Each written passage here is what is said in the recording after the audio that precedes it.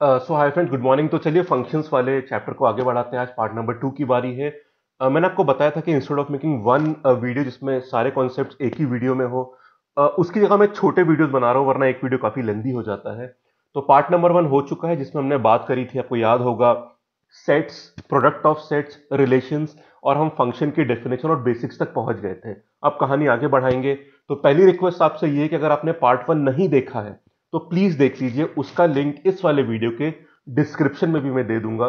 बहुत छोटा सा 20 मिनट का वीडियो है, ज़रूर देखिएगा, वरना कॉन्सेप्ट ठीक से सेट नहीं हो पाएँगे। तो वो पहली रिक्वेस्ट रहेगी, बाकी पार्ट नंबर टू को आगे बढ़ाते हैं।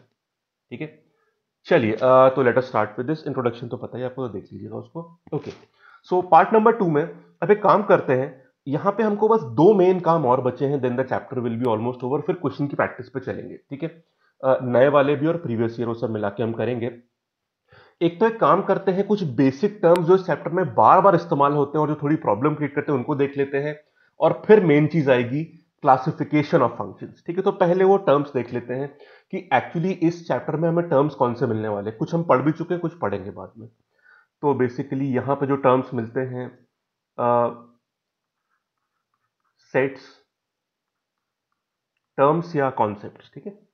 Product of sets. ठीक है, फिर रिलेशंस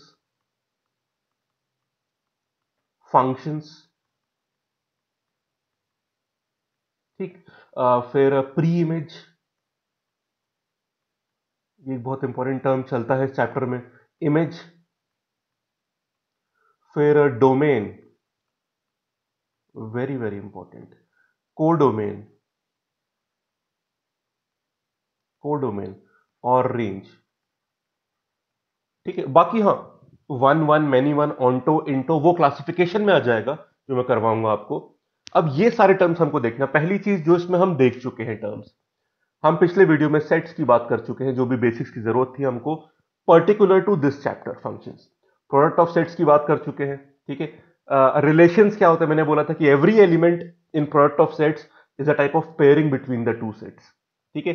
और प्रोडक्ट ऑफ़ सेट्स में जो भी पेयरिंग करते हो आप, हर एलिमेंट एक तरह का रिलेशन होता है from A set to B set ठीक है? बात करी थी हमने। और इन रिलेशन पे जब हम स्पेसिफिक कंडीशन लगाते हैं तो फ़ंक्शन बन जाता है। यहाँ तक की बात हम पिछले वीडियो में कर चुके हैं। ज़रूर, या तो देख लिया होगा या ज़रूर देख लीजिएगा, मिस मत करिएगा, वरना बेसिक्स गड़बड़ हो जाएगा थोड़ा सा ठीक है? चलिए, अब ये पाँच टर्म और देखने हैं। फिर we are ready to complete the last part जिसको हम क्लासिफिकेशन बोलते हैं। चलिए व्हाट इज़ प्री इमेज देखो, इसकी इसकी बड़ी सिंपल चीज़ है। जैसे हमने सेट बना दिया, इसमें ये कुछ एलिमेंट रख दिया हमने। और ये सेट बना दिया, इसमें कुछ एलिमेंट रख दिए। ये ए सेट और ये बी सेट और फिर हम पेयरिंग चालू करते हैं। जैसे इसको इससे जोड़ दिया। इसको हमने इससे जोड़ दिया। इसको भी इससे जोड़ दिया। और इसको भी इससे, इसको यहाँ जोड़ दीजिए। पहली चीज़, ये रिलेशन तो है, सबको पता है। पर क्या ये फ़ंक्शन है? हाँ कंडीशन क्या होती है? In a relation if each element of first set या every element of first set has a image in second set to it's a function अब यहाँ पे सबकी इमेज बन रही है यहाँ पे मतलब पहले सेट में कुछ छूटना नहीं चाहिए यहाँ पे नहीं छूटा। All the elements are covered ठीक है? एक चीज़ और। यूनिक uh, इमेज ज़रूरी है ठीक है? यूनिक इमेज ये पहली कंडीशन डेफिनेशन पूरी क्या है? Every element of first set should have a unique image तो एक तो पहले सेट में कुछ छूटना नहीं चाहिए और इमेज यूनिक बननी चाहिए। मतलब यहाँ से एक ही कनेक्शन होना चाहिए। अब यहाँ से एक कनेक्शन हुआ, ये किसी दूसरे का हो सकता है, पर इससे कोई और नहीं होना चाहिए। ठीक है? इसकी यूनिक इमेज है यहाँ पे।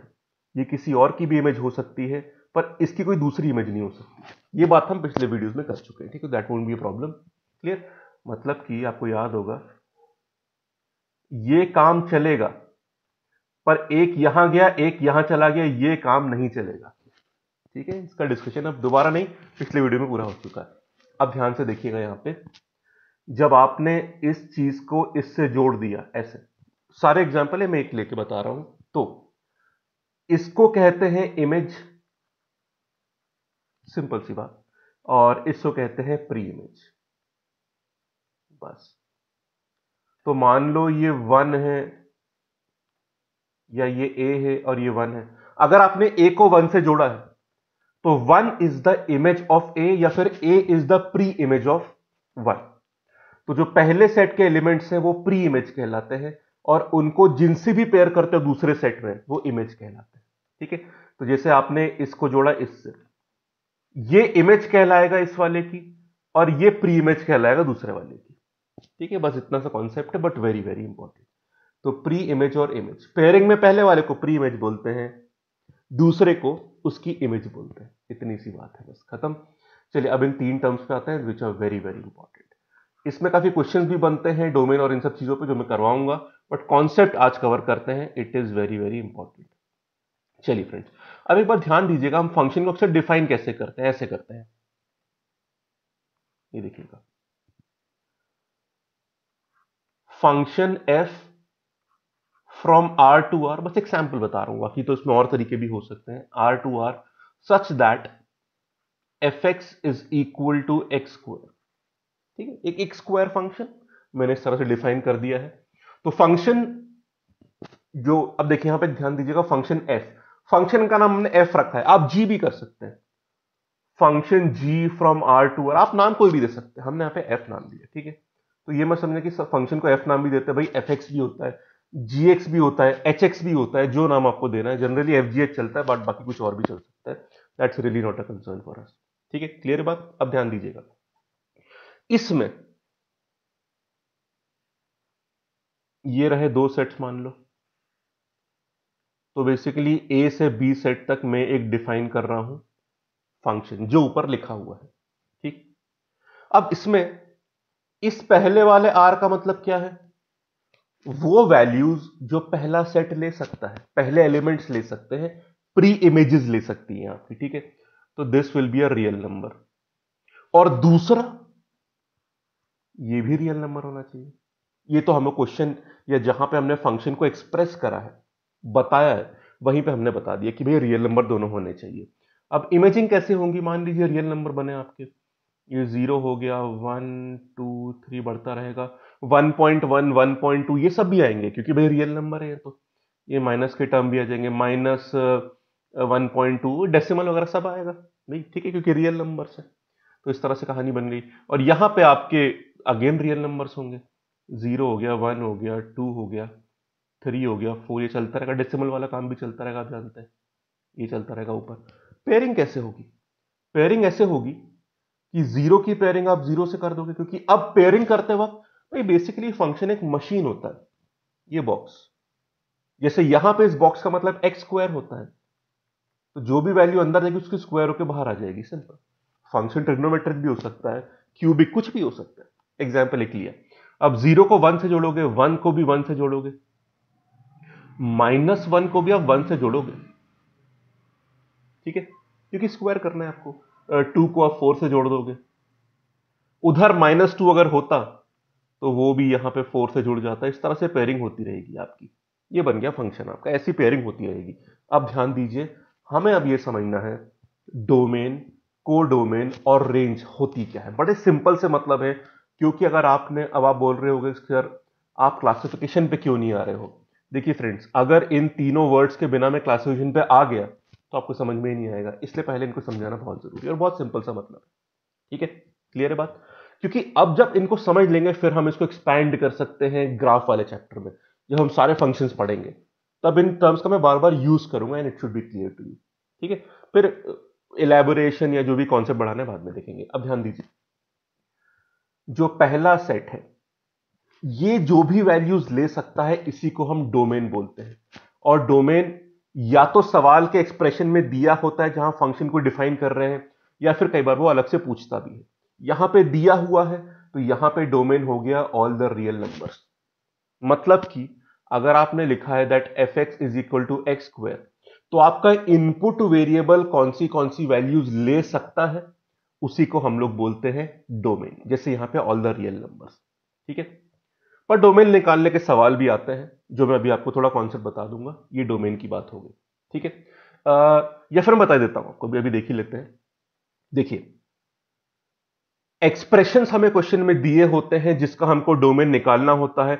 मतलब इस एक्सप्रेशन में परमिसिबल वैल्यूज़ कौन सी है? एक्स जो वेरिएबल है, वो कौन सी वैल्यूज़ ले सकता है। अब यहाँ पर एक्सप्रेशन फ़ंक्शन से बनता है। ज़्यादातर फ़ंक्शन सारे रियल नंबर्स का इनपुट अलाउ करते हैं कि जैसे फॉर एग्ज़ाम्पल आपने लिख दिया F X is equal to two X plus three अब यहाँ पर तो एक्स कोई भी रियल नंबर हो सकता है ना।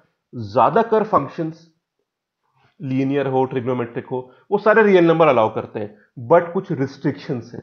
बस आपको उन रिस्ट्रिक्शंस पे नज़र रखनी है। उन रिस्ट्रिक्शंस पे जो भी वैल्यूज़ आ रही है, उनको हटा दीजिए, बाकी सब चलेगा। और वो रिस्ट्रिक्शन कौन से वो एक बार देख लीजिए, फिर एक सैंपल क्वेश्चन बता दूँगा मैं आपको। देखो। क्वेश्चंस में जो भी एक्सप्रेशन हो डोमेन रियल नंबर होगा एक्सेप्ट की ये कंडीशन ना आ जाए तो बस इन पे नज़र रखिएगा। इनके अलावा देर इज़ नो प्रॉब्लम पहली चीज़। डिनोमिनेटर में ज़ीरो नहीं चलेगा। ज़ीरो नहीं चलेगा, ठीक है? इसका मतलब मान लो कोई एक्सप्रेशन आपका है two one upon two X minus three तो ये नीचे वाला टू एक्स माइनस थ्री इसको थोड़ा ठीक से लिख दूँगा ये ज़ीरो नहीं हो सकता। तो यहाँ पे x क्या नहीं हो सकता? थ्री बाय टू, थ्री उधर आया, टू डिवाइड हुआ, थ्री बाय टू नहीं हो सकता। तो यहाँ पे डोमेन क्या हो जाएगा? X belongs to real number minus three by two ये नहीं चलेगा, बाकी सब चलेगा। सिंपल सी बात, ठीक है? एक बात और ध्यान रखिएगा, जब भी मैं कोई वैल्यूज़ करली ब्रैकेट में लिखता हूँ ए बी सी मतलब सिर्फ़ वही स्पेसिफिक वैल्यूज़ वही डिस्क्रीट वैल्यूज़ में इंक्लूड या एक्सक्लूड कर रहा हूँ। जब मैं ब्रैकेट के फॉर्म में लिखता हूँ, ठीक है? जैसे कि टू कॉमा थ्री।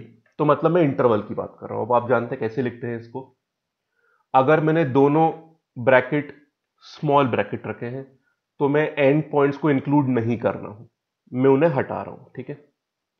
अगर मैंने स्क्वायर रखा, जैसे टू रखा और थ्री को ये कर दिया मतलब दो से तीन तक वैल्यूज़ हो सकती है two point one two point two three include करा है टू इंक्लूड नहीं करा है, ठीक है? तो ये देख लो। इसका मतलब क्या होता है? टू से थ्री वैल्यू चाहिए। इंक्लूड नहीं करा आपने एंड पॉइंट्स इसका मतलब क्या होता है? आपने एंड पॉइंट्स इंक्लूड किया आप दोनों को कॉम्बिनेशन में भी यूज़ कर सकते हैं, जैसे मैंने बताया था आपको। और इसका मतलब क्या होता है कि आप स्पेसिफिक वैल्यू इस्तेमाल कर रहे हो, कि x टू या थ्री हो जाएगा। रेंज की बात नहीं कर रहे हो, ठीक है? तो ब्रैकेट्स में इतना हमें पता होना चाहिए। अगर मान लो आपने ये कर दिया कि टू से नाइन इसका मतलब टू भी हो सकता है एक्स आपका और नाइन तक पर नाइन नहीं हो सकता। ये हटाना पड़ेगा आपको। ये मतलब हो जाएगा इसका। ठीक है?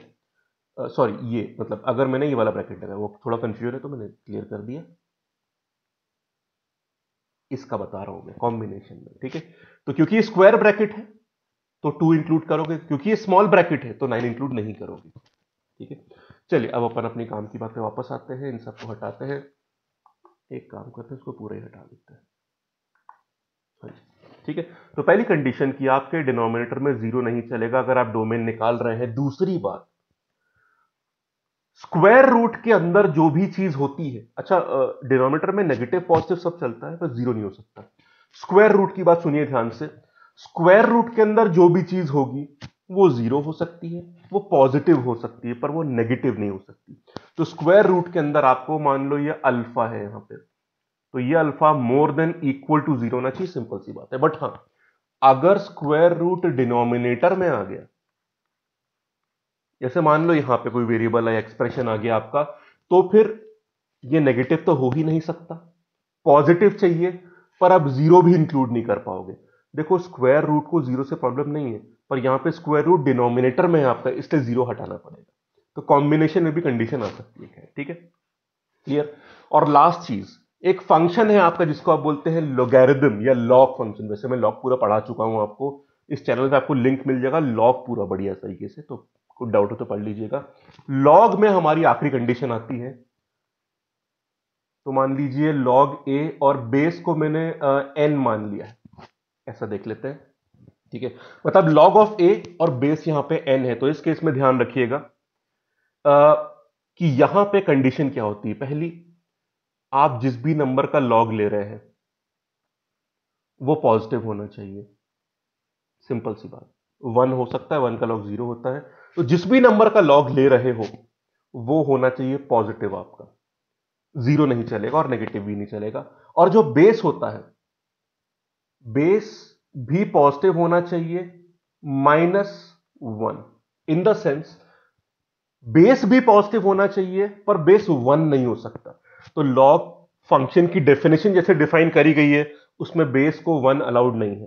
सिंपल सी बात। आप इसको अगर लिखना चाहे तो ऐसे लिख सकते हैं दैट बेस हमारा एक तो ज़ीरो से बड़ा होना चाहिए, और ये हो गया। ठीक? इसके अलावा अगर मैं इसको ब्रैकेट फॉर्म में पूरा लिखूं, ये देख लो आप। एन बिलोंग्स टू ज़ीरो से वन यूनियन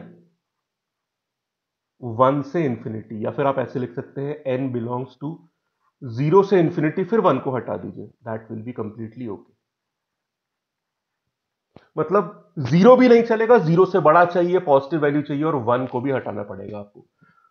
पर जिस नंबर का लॉग ले रहे हो, उसका वन हो सकता है। तो दोनों पॉजिटिव चाहिए एक्स्ट्रा कंडीशन की भाई बेस वन नहीं हो सकता। पर जिस नंबर का लॉग ले रहे हो, वो तो वन हो सकता है ज़ीरो होती है लॉग वन की वैल्यू ठीक है? ये रही तीसरी कंडीशन इन तीनों कंडीशन को ध्यान में रखते हुए, आप एक्सप्रेशन का डोमेन निकाल देना, आपको कभी प्रॉब्लम नहीं होगी। एक सिंपल एग्जांपल लूँ, अभी ऑन द स्पॉट एक क्वेश्चन क्रिएट करते हैं। बाकी क्वेश्चंस में करवाऊँगा आपको। पर अभी एक जो क्योंकि सामने बात आई है तो let us solve few things क्या लिया जाए? टू एक्स माइनस थ्री ले लेते हैं। इसको एक्स प्लस टू ले लेते हैं। ठीक है? और plus one upon root of three X plus one ले लें, ठीक है? ऐसी रैंडम ले लिया मैंने। क्वेश्चन देख लीजिए। Find the domain of this expression अब देखिए, आपके प्रॉब्लमेटिक एरियाज़ यहाँ पे आपको दिख रहे होंगे आपको ध्यान रखना पड़ेगा। सारी कंडीशन देख लो एक बार। आप सिर्फ़ वही वैल्यूज़ की रेंज लोगे जो इन सारी कंडीशन को सेटिस्फाई करती है। सिंपल सी बात है यहाँ पे, ठीक है? चलो तो शुरू करते हैं। पहले तो जिस नंबर का लॉग ले रहे हैं, वो पॉजिटिव चाहिए तो two X minus three should be positive जो बेस है, ये भी पॉजिटिव चाहिए, ये भी पॉजिटिव चाहिए। पर एक बात और, ये वन नहीं हो सकता। तो x प्लस टू कभी वन नहीं हो सकता, ठीक है, बस कभी ध्यान रखिए और एक बात और, यहाँ देख लीजिए। यहाँ स्क्वायर रूट के अंदर की चीज़ जो है ये नेगेटिव नहीं हो सकती इसको पॉजिटिव या ज़ीरो होना चाहिए पर क्या यहाँ पे आप ज़ीरो ले सकते हो? नहीं क्योंकि यहाँ पे स्क्वायर रूट डिनोमिनेटर में और डिनोमिनेटर में ज़ीरो नहीं चलता है तो आपको ज़ीरो हटाना पड़ेगा इक्वल टू ज़ीरो हटाना पड़ेगा सिर्फ़ ग्रेटर देन ज़ीरो लोगे आप बस। ये सारी कंडीशन सॉल्व कर लीजिए जो भी कॉमन सबको सेटिस्फाई करते हुए वैल्यूज़ की रेंज आएगी वही आपका आंसर हो जाएगा। सिंपल सी बात है ठीक है? तो यहाँ पे क्या आ गया? um, एक सेकेंड हाँ सॉरी पेन थोड़ी गड़बड़ कर रहा था हाँ अब सही है। X is more than three by two पहला इसका ये आ गया। यहाँ पे क्या है? X is more than minus two okay ठीक है? एक और बात यहाँ पे बोल रहा है that X is not equal to minus three नहीं माइनस थ्री नहीं प्लस वन हो जाएगा।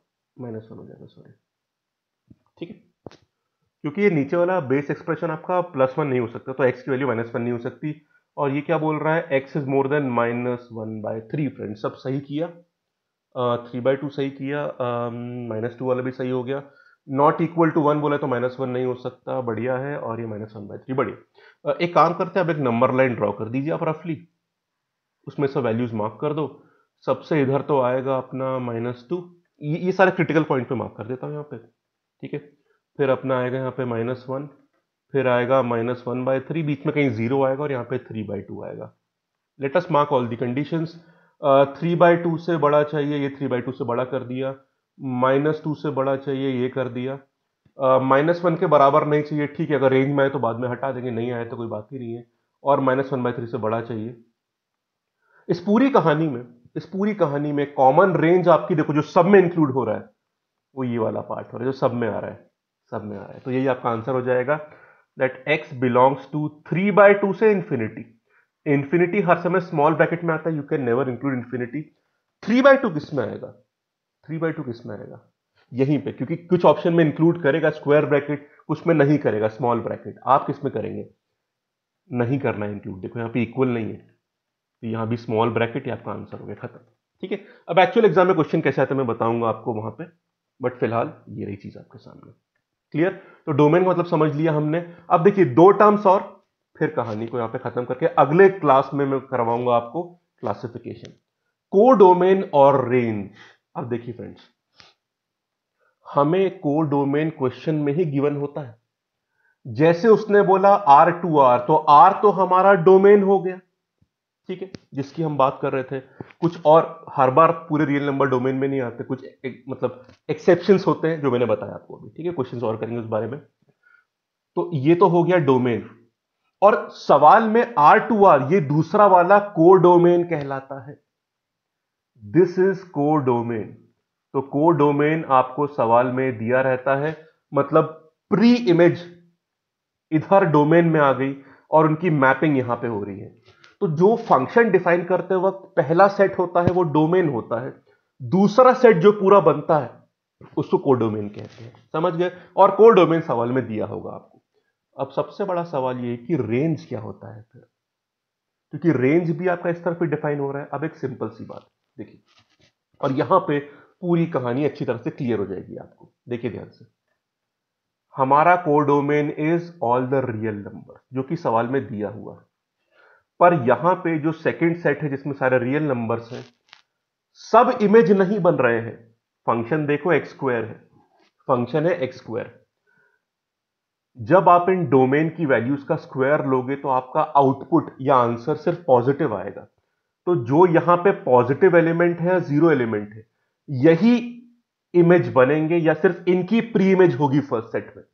बाकी नेगेटिव वालों तो किसी की इमेज बनेंगी नहीं यहाँ पे, ठीक है? तो ध्यान रखिए।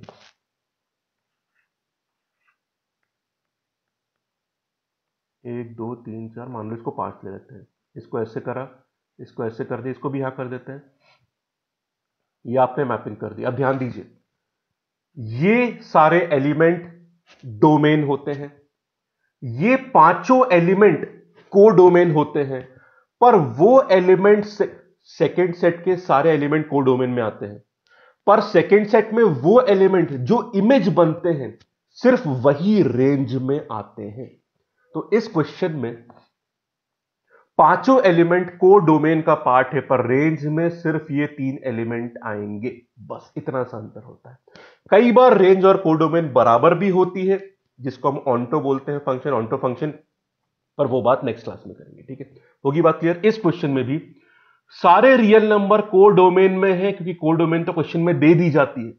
पर अगर मैं रेंज की बात करूँ तो सिर्फ़ ज़ीरो और पॉजिटिव एलिमेंट्स ही कहाँ पे आएँगे? रेंज में क्योंकि वही इमेज बने हैं, या सिर्फ़ उनकी प्री इमेज है। पेयरिंग में वही इंक्लूड हुए हैं। ये जो बाकी नेगेटिव वाले हैं रियल नंबर्स वो डोमेन का पार्ट सॉरी को डोमेन का पार्ट तो है, पर वो रेंज का पार्ट नहीं है। तो ये दो टर्म्स हो गए हमारे। ठीक है? तो सेकेंड सेट में जैसे मैंने बोल दिया ऑल द रियल नंबर्स तो ये पूरा को डोमेन बन गया। पर पेयरिंग करते वक्त जो जो इमेज बनेंगे या जिन जिन की प्री इमेज होगी, सिर्फ़ वही रेंज में आएँगे। क्लियर बात? तो यहाँ पे ये तीन रेंज में आ गए। ये बाकी दो जो बचे जिनमें जो किसी की इमेज नहीं बने, ये को डोमेन में तो आते हैं को डोमेन में तो आते हैं, पर रेंज में नहीं आते। बस सिंपल सी बात है, ठीक है? तो फ्रेंड्स ये थे कुछ टेक्निकल टर्म जो हमारे सामने आएँगे। बेसिक्स मैंने बता दिया आपको। अब next lecture will be very very important जहाँ पे मैं पढ़ाऊँगा आपको क्लासिफिकेशन ऑफ़ फ़ंक्शन और उनके फॉर्मुलेस कि कितने ऑनटो होते हैं, कितने वन वन होते हैं इस तरह से, ठीक है? तो थर्ड लेक्चर बहुत जल्दी आएगा, पर वन और टू तो आपने देख ही लिया है वन वाला भी ज़रूर होपफुली आपने देख लिया ठीक है फ्रेंड तो थैंक यू सो मच अगर कंटेंट पसंद आए तो वीडियो लाइक ज़रूर कर दीजिएगा और कमेंट करिएगा, आपके comments are a big encouragement and a motivation ठीक है? अच्छा बुरा क्रिटिसिज्म भी है तो योर कंप्लीटली चैनल आप ही का है तो please feel free to comment I try to work on the feedbacks ठीक है? तो थैंक यू सो मच मिलते हैं पार्ट नंबर थ्री में फिर। Thank you so much